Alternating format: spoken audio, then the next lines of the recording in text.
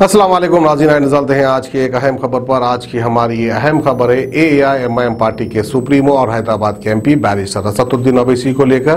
क्योंकि आज असदुद्दीन अवैसी ने कहा है कि यूपी इलेक्शन में सभी सियासी पार्टियाँ जो है, मुख्तलिफ़ वोटर्स पे निगाहें बिछा के रखी है।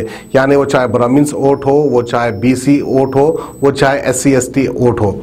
लेकिन खासकर मुसलमानों के वोट को लेकर हर सियासी पार्टी का एक नज़रिया बन चुका है कि किसी भी तरह जो है मुस्लिम वोट इनके फेवर में आ जाए। इसी को लेकर बैरिस्टर असदुद्दीन अवीसी ने अपना एक स्टेटमेंट दिया है। आइए वो क्या कहते हैं, हम आपको सुनाते हैं।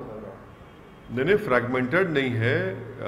आपने सही कहा कि अखिलेश यादव और बीजेपी और बीएसपी हमारे ब्राह्मण भाइयों के वोटों के लिए पूरी कोशिश कर रही है। मगर देखिए, इन तमाम में कॉमन फैक्टर है कि सिवाय 19 फ़ीसद उत्तर प्रदेश के मुसलमानों के सब कास्ट और बरादरियों के ऊपर मेहनत की जा रही है।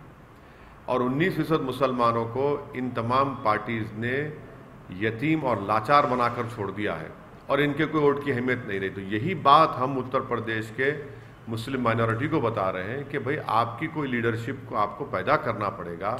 आपकी वोट की अहमियत उस वक्त लोगों को मालूम होगी जब आप अपनी लीडरशिप को बनाएँगे। जो ये पॉलिटिकल पार्टीज़ कभी भी इस बात को मानने के लिए तैयार नहीं ना ना इस चीज़ की कोशिश करेंगे कि उत्तर प्रदेश के उन्नीस फ़ीसद मुसलमानों को उनका हिस्सा मिले और उनकी एक लीडरशिप बने उन, उनके दरमियान में से एक नहीं बल्कि कई नेता निकले जो मुस्लिम माइनॉरिटी के जस्टिस के लिए काम कर सके।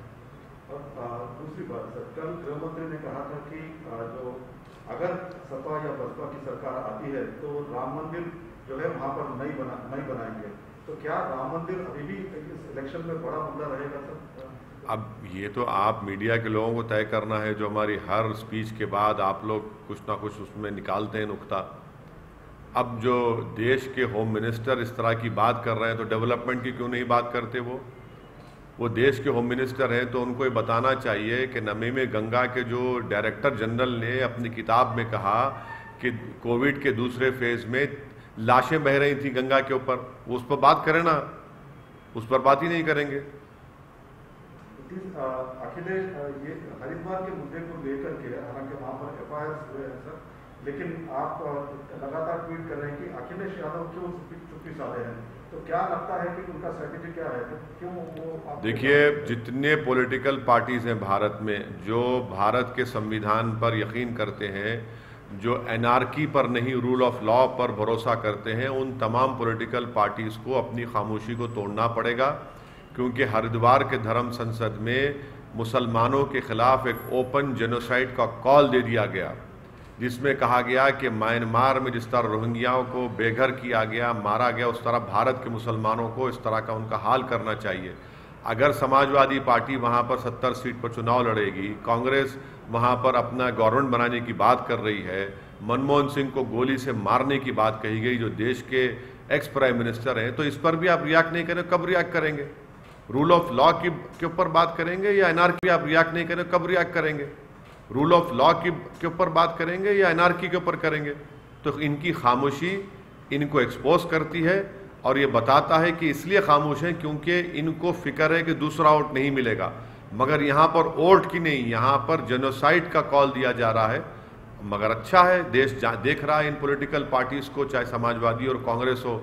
कैसे लोग खामोश बैठे और उत्तराखंड में बीजेपी की सरकार के आशीर्वाद और पूरी सपोर्ट पर इस तरह के धर्म संसद हुआ। उन्हीं की सपोर्ट पर, उन्हीं की ईमा पर, उन्हीं की पूरी सपोर्ट के ऊपर इस तरह की बातें की गई। सिर्फ़ एफआईआर इशू करने से नहीं होता, उनको गिरफ़्तार करना चाहिए। ये तमाम ऑर्गेनाइजेशंस को यूएपीए के तहत बैन करना चाहिए तभी जाकर रोक लगेगा वरना ओपन कॉल फॉर जेनोसाइड किया जा रहा है भारत के मुसलमानों के बारे में।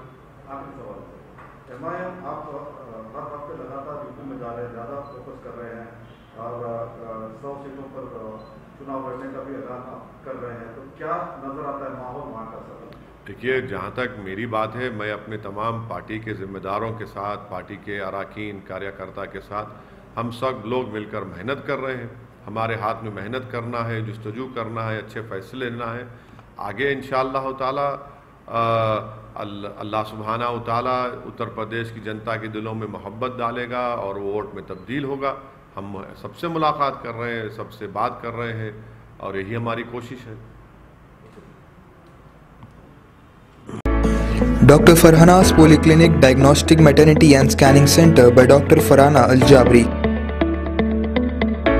कई किस्म के मुख्तलिफ़ स्कैन्स रीजनेबल और अफोर्डेबल रेट्स में। पुराने शहर की खातन को सहूलत पहुँचाने के खसूसी मकसद से ये स्कैनिंग सेंटर खोला गया है। कई मुख्तलिफ़ मर्ज अमराज का इलाज डॉक्टर फरहाना पोली क्लिनिक पर किया जाता है। डॉक्टर फरहाना अल जाबरी और दूसरे एक्सपर्ट्स की निगरानी में खसूसी लेडीज़ और बच्चों का इलाज किया जाता है। एड्रेस याकुतपुरा बड़ा बाज़ार ज़फ़र रोड हैदराबाद। स्क्रीन पर दिए गए नंबर्स पर कांटेक्ट करें।